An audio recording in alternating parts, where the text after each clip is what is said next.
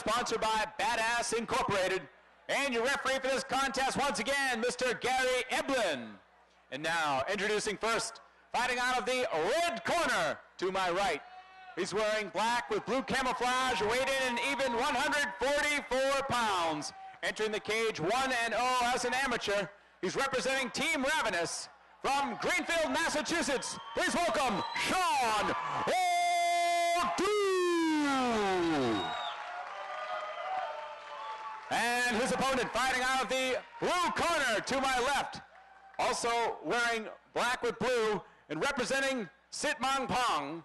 Entering the cage for the first time, he also weighs in at 144 pounds. Also from Greenfield, Massachusetts, please welcome Nick Valentino.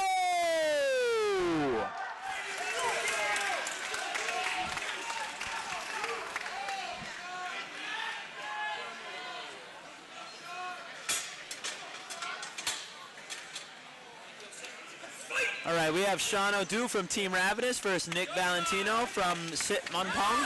Um, oh, wow, big shot. Shawn O'Dou uh, with Knocking Ravenous locking up the Armin guillotine. You know, he shouldn't be leaning back for the Armin guillotine. You actually should be leaning forward for that. Um, so it, it- it's not about. It's not like your traditional guillotine where you want to extend and pull. He should be clamping up with his arms and leaning in. Yep.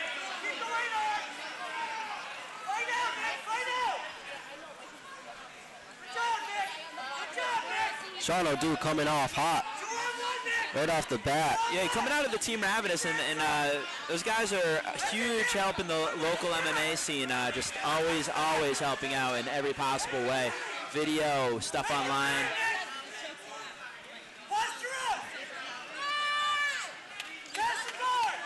Nick Valentino getting some advice from his corner to posture up. It seems to me that that was a, would be enough time to uh, shake that uh, that little stun out, working the pass. Now he's in his half.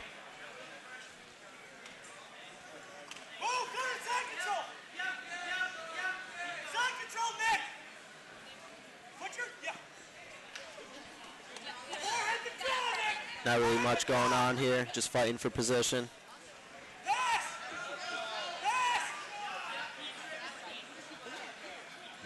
Constantly circling that right side. Not quite able to establish a, a strong pass.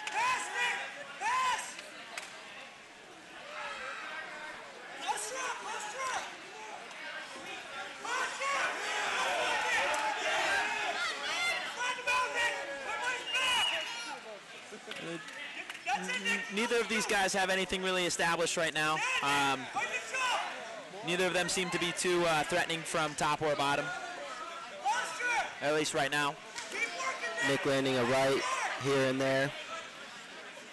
He's, he's, he's had his uh, left arm trapped for about a minute, minute and a half so far, so he hasn't been able to do much with that.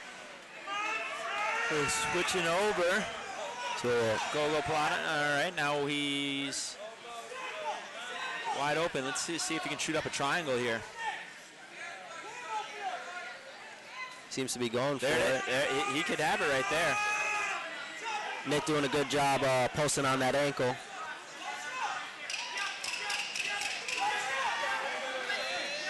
Oh, wow. With the arm bar. Shawn O'Dou. I don't know if he's going to tap him. Just fluffing him right. All right, here we are, round two. Um, fairly unev- Ooh, nice inside leg kick. Inside leg hurt. kick right there. Nick took his leg out. Uh, fairly uneventful first round. Uh, both of them just kind of working the ground. Looks to be uh, kind of much of the same, at least starting out in the second round. Yep. We got uh Clear that foot out of those shorts. We don't break any toes. And once again, we are back in the same position as the first round. He's going back over, the, you know, seems to be his go-to move. He's locking him down now.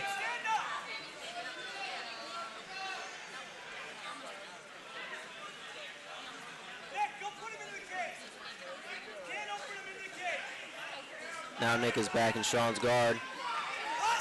Shawn's got the right arm trap this time.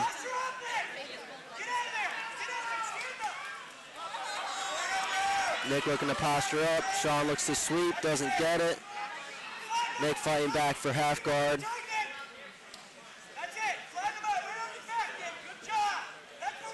You know, fairly active off bottom, um, which is good. Uh, you know, top not really doing too much, really just fending off uh, submissions and, and looking to subtly pass. But it looks like uh, this Nick Valentino is out of what it seems to be a traditional Thai school um, by the traditional uh, gear that they came out with. So we don't really know how much uh, groundwork he has, but this is MMA, so hopefully he trained uh, extensively on the ground as well. Nice stuff on top now. Looking to posture back up is Nick.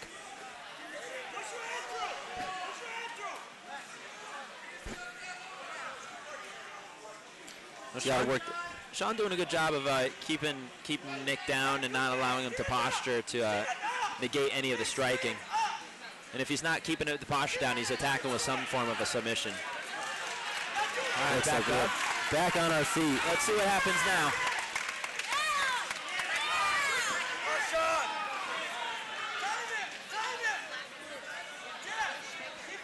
All right.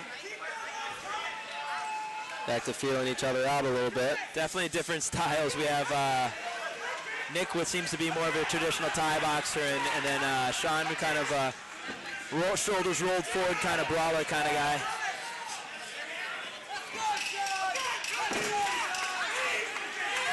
Nick with the clinch. Oh. Shawn catches a leg, but he's not able to finish the single off that.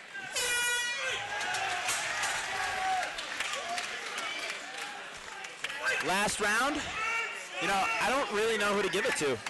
Um, you know, top, uh, Nick has more control on top, but bottom, you know, Shawn looks more aggressive with uh, looking to finish. Definitely giving it to Shawn right now, coming out to. I'd say it's one and one with the rounds. Yeah. I, you know, I think if, if I were Nick, I'd try to keep this fight standing for the rest of, of this round. You know, he's been doing a little better job standing. Um, did a really good job at the end of the last round in the clinch with the knees. I think if he, if he He might be a little gun shy just because he got hit with that, that uh, initial punch, but I would agree with you 100%. Stay on his feet. He, he's clearly the more technical guy. and a good inside, two good inside leg kicks. Nick. Ooh, oh, right up the middle. Push kick, right? Yeah, right up the middle.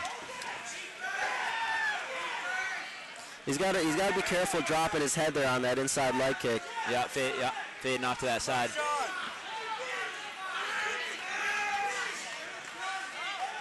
He's opening up. He seems to be a little more comfortable on his feet now.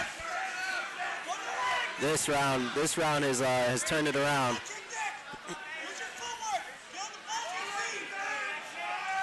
Both guys looking to turn up the excitement here. He's eating that inside leg up.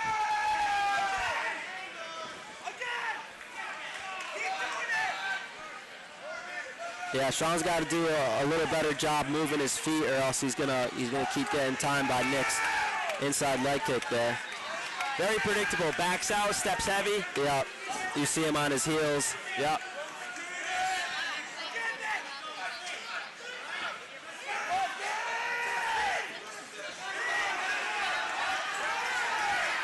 Nice body shot by Shawn. He might, he's gonna blow that knee out. That's gonna be trouble to walk tomorrow. Yeah, he keeps going after it again and again and again. But like we said, you know, he hasn't switched up his rhythm, so he's able to time him every time. That's what I was waiting for, to go upstairs, keep throwing inside low, and then go up high. which shows which which uh, you know it shows that that Nick's a little bit of you know he's got the experience there.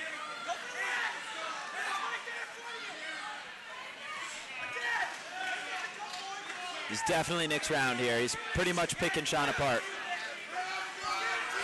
And Shawn keeps coming forward, though. Oh, nice body shot.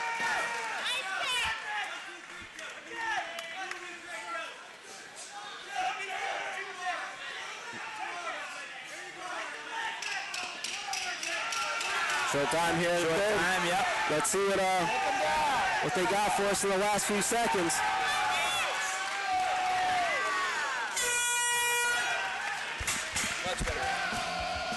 Ladies and gentlemen, before I read the official scorecards, how about a nice round of applause once again for Shawn O'Dou and Nick Valentino. After three hard-fought rounds, here are your score totals. Judge Michael Mina sees about 29 to 28. He has it for Valentino. Judge at ringside, Jason Randolph sees about 29-28. He sees it for O'Dou. While judge at ringside sees this bout 28 to 28. This bout is a draw. Let's hear it for both Shawn O'Dou and.